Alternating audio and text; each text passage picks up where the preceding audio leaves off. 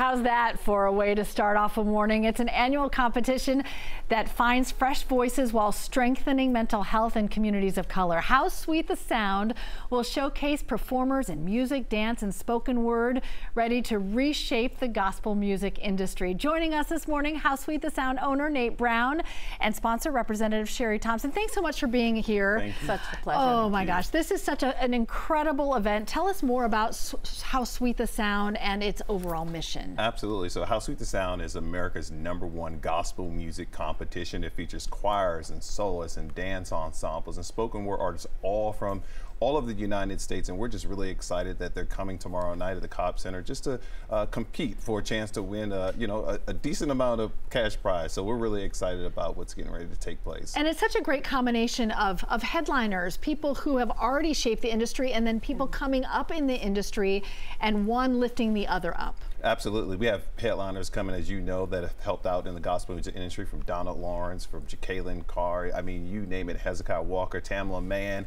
uh, J.J. Hairston, Ricky Dillard, all of these great artists are You name it, they're here. It. They are here. We're excited about that for sure. That's terrific. Representative Thompson, tell us more about the partnership with the Ad Council and this important mission to support mental health as well. Absolutely. So Sound It Out is a national campaign developed by the Ad Council and Pivotal Ventures that really utilizes the power of music music to help parents and caregivers have better conversations with their children about their emotional well-being. And we've been partnering with How Sweet the Sound for two years. Yeah, two They've years. been fantastic partners and have really helped us drive meaningful education in communities of color daily around mental health and are shining a really big spotlight on mental health tomorrow. And as I yes. think about what really connects mm -hmm. us, it's music. Yes. You know, music brings us together. Music helps us express our feelings and our emotions, and mm -hmm. that's what we mm-hmm. do for parents. And so we yeah. want to help them have better conversations with their kids, and we have such great yeah. resources at sounditouttogether.org.